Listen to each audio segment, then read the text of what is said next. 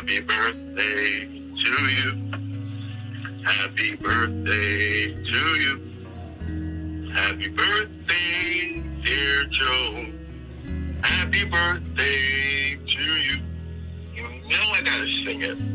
Of course I'm leaving a voice message. I know you love collecting. So this goes in the in the pipeline in the collection of Joan's. Hope you've been well, returning your call. I'm just heading out, about to do a quick rental drop off. Um, I should be available for most of this afternoon. Um, heading back after this, and I'm going to pick up Akira. But happy birthday, Joe. I mean, come out. Another year? Yo, they ain't ready. They never ready. Because you stay ready. I love you. Take care. Bye. Love you too, Addie. I don't even know what to wish for. Just keep it to myself because if I say it out loud, it won't come true.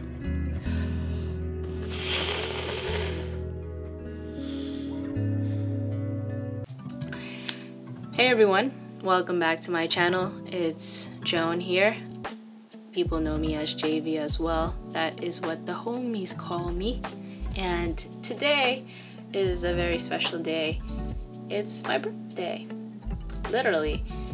And today I turn 31. Sometimes I still can't believe that I'm in my 30s because 9 out of 10 times people always think that I'm younger than 30 and then they're surprised that I am this age.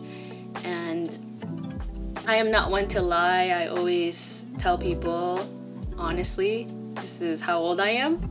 But people, they can't believe it until they see my ID. Anyways, there's a few things that I want to talk about and share with you, but before that, I want to do a quick recap of my 30th year. It actually has been very spontaneous and surprising and a matter of good and bad, uh, just as many other people. But for me, the things that I accomplished in this year alone, I just can't believe. For example, in the beginning of 2022, I flew all the way to the Middle East, all the way to Dubai, because I have family there, and I never thought I would ever travel there. It's not on my bucket list, and it was a whole new world, literally, like in Aladdin, and I experienced so many different things that I never experienced before, met people that never thought I would ever meet, and I appreciate the time that I spent over there. And funny enough, this person, you know who you are, I'll just call you H. This person has always told me to never run away that you can always contact me whenever you need to talk to someone.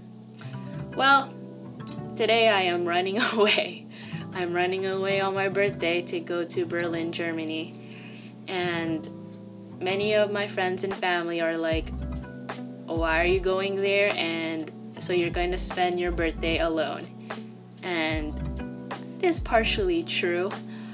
I planned to spend my birthday alone and that is not for you to feel sorry for me or anything like that. I just feel that I just want some peace and I just want to be able to travel as I usually do and just have some time alone before I celebrate with the rest of the world. And so, a little bit more details about that whole trip. But yes, that is something that someone has told me in the past to not run away. And then after I came back to the US, I was given the opportunity to work on a feature film. And I never did that before. I worked as an assistant camera and AC, and I literally had to learn on the fly how to do this job. And I'm so thankful for my good friend. And also, I shared this birthday with my friend Paula for trusting and believing in me And I didn't have to tell production that I never did this job before, but I told them at the end when we wrapped on set that it was my first time and everyone couldn't believe it because they said that if I didn't say anything, they wouldn't have known. And they were all congratulating me. And it was rough. It was a, a huge learning experience, but I'm very thankful for everything and everyone who had the patience to teach me and to just work with me and things like that. And then I also started therapy again. And I quit therapy for a year. I just wanted to take some time off because I was going for three years straight. And when you start again with a new therapist, it could be very nerve wracking. And so I was very concerned and worried uh, if we would be a match. And luckily, we actually worked out till this day. I'm still seeing this person and I'm using the BetterHelp app. And I want to break the stigma of having the conversation about therapy, which I think it's nice that whenever I talk about it with people, they happen to become more interested and inspired to wanting to try it out. I think it's important to have a safe space and to have that person that you can call support. And many people can say that they have a family member, friend, or significant other as someone they can go to. But if you don't have someone, then talking to a therapist is a good alternative.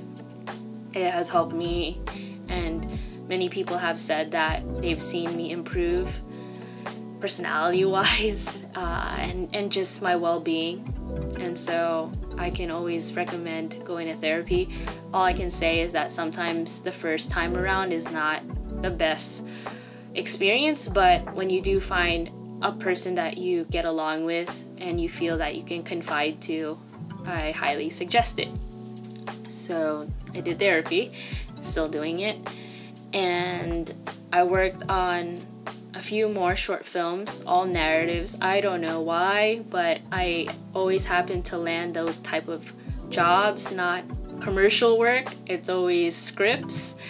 So I think maybe that's a calling for me because I've always wanted to direct my own feature film. And I just need to get to it with making a script.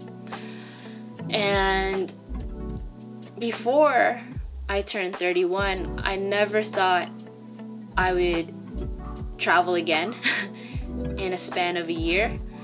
Middle going to the Middle East was already a lot, and I was able to travel to Boston again, which I haven't gone there for in, like since 10 years ago, and it's a very sentimental place for me because of my dear ex Ray who passed away.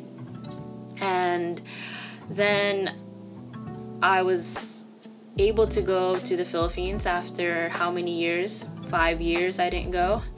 And got to be reunited with my family over there. And then, for the first time in my life, I got to go to Japan. And I thought I would go to Japan during the Olympics, but we all know that the pandemic happened. And then I never thought when I would go ever again. And now I went. And I got to meet Phil. I got to experience a whole nother world again, and it was nice, despite having food poisoning. So, something that I want to share with you there's two things. One is people have asked if I'm still selling my photo book, and to be honest, I wasn't. It was sold out completely, and I'm very thankful again because for many years people ask me when are you going to put out a photo book? And i've always said like i don't know. I don't know when i'll ever do it.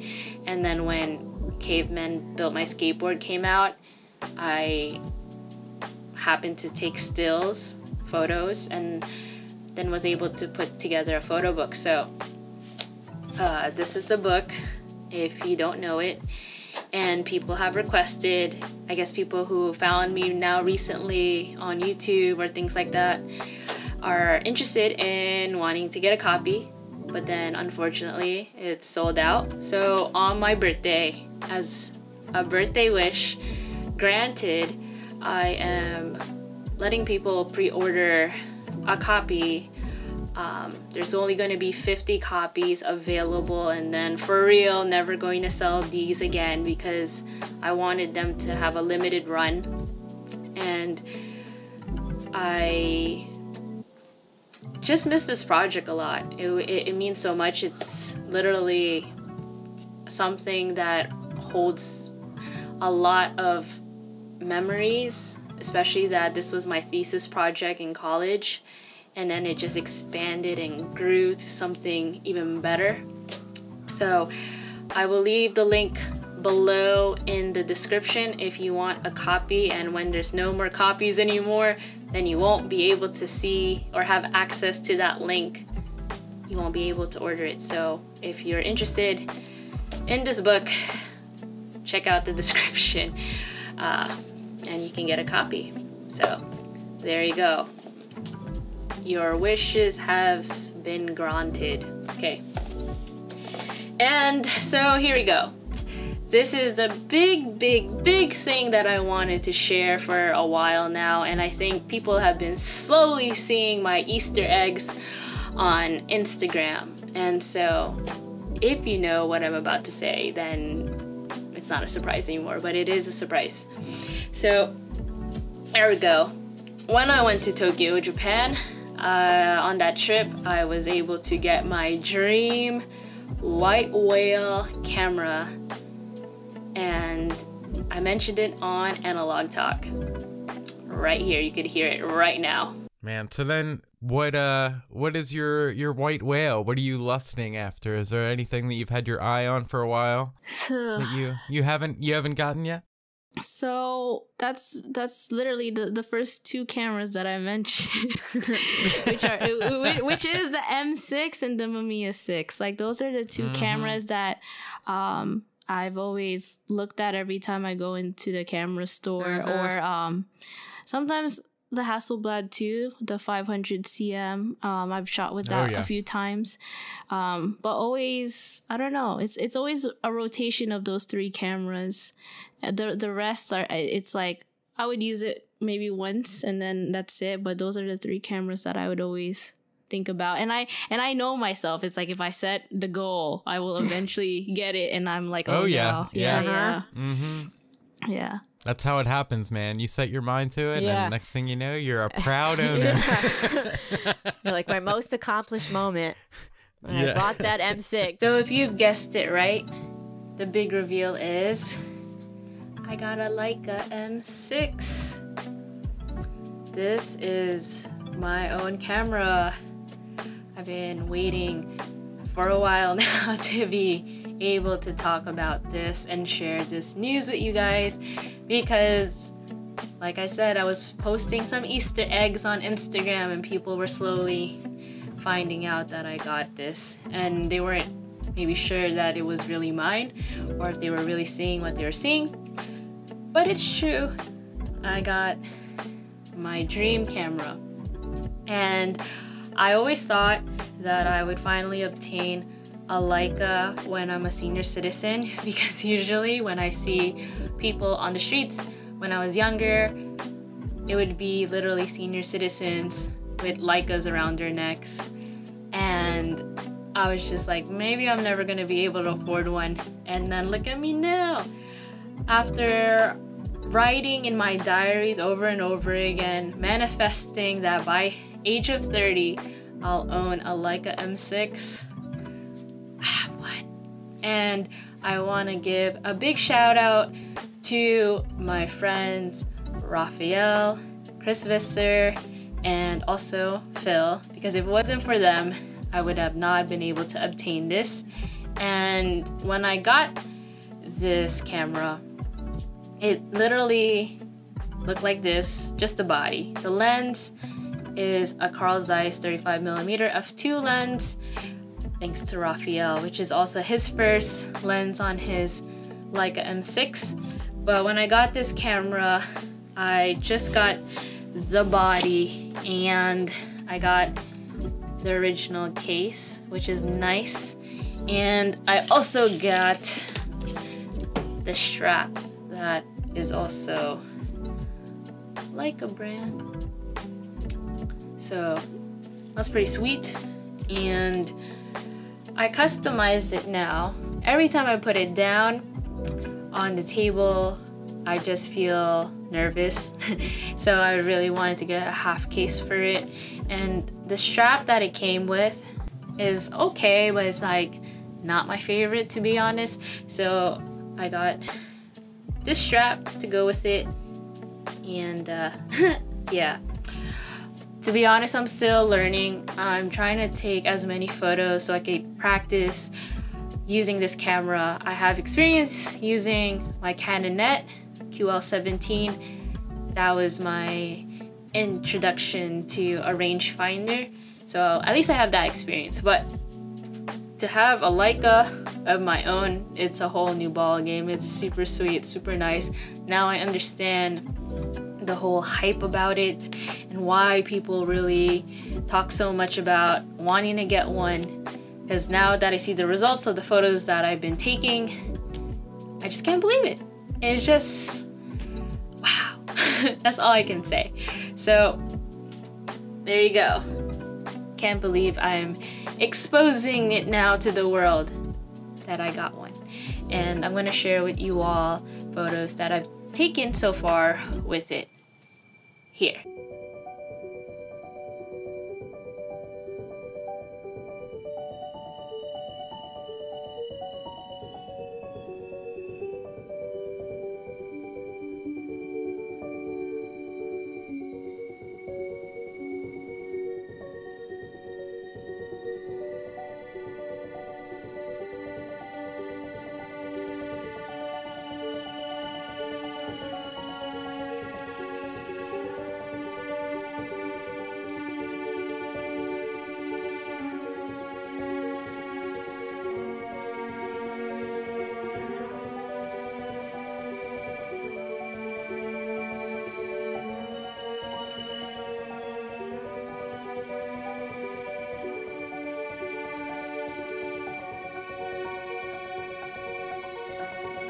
So those are the photos that I've taken so far.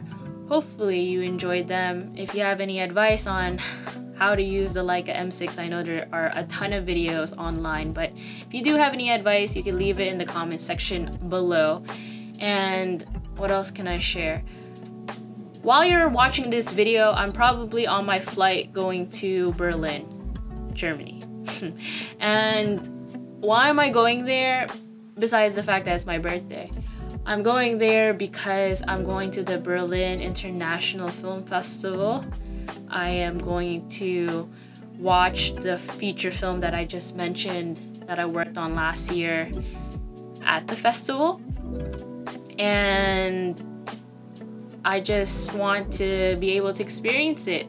Many people said that since I worked on that movie, I should go to the screening. And so that's what I'm doing and probably explore and you'll see another video in the future of my trip of course. And hmm. Am I missing anything else? Pretty much some of the proceeds for the book if you purchase one will go to a cause.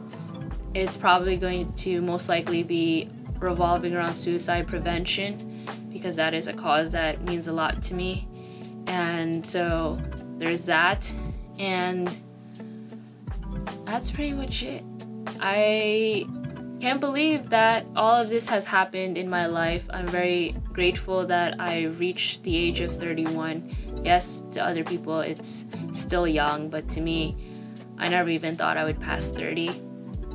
Or we're not gonna get into that sensitive topic right now. And yeah, I just am thankful for you to be watching this video and so stay tuned till the next video. Do yourself a favor by doing a good deed today and try to make someone smile because that's what I always try to do each day. And that's why I have a big heart and that's why I get hurt all the time. And yeah, okay. Sayonara. It's the end of the video, so don't forget to like and subscribe to the channel. If you haven't, it will help me in the long run. Okay, bye.